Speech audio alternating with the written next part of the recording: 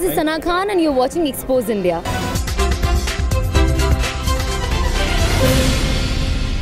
नमस्कार, मैं खुशबू, आप देख रहे हैं एक्सपोज इंडिया एमयू के दस हज़ार अज्ञात छात्रों के खिलाफ एफआईआर दर्ज कर ली गई है। पुलिस के मुताबिक 15 दिसंबर को हुई हिंसा के मामले में एफआईआर दर्ज की गई है।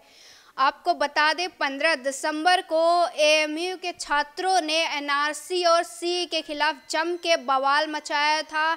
वहीं अलीगढ़ मुस्लिम यूनिवर्सिटी के छात्र संघ अध्यक्ष सलमान इम्तियाज़ ने आरोप लगाया है कि पुलिस ने छात्रों के साथ बर्बरता की है, जिसके कारण कई छात्र घायल हो गए।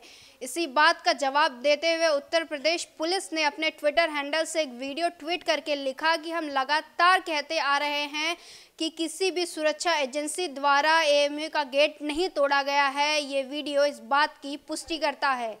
हम हर खबर आप तक पहुंचाते रहेंगे। आप देखते रहिए एक्सपोज इंडिया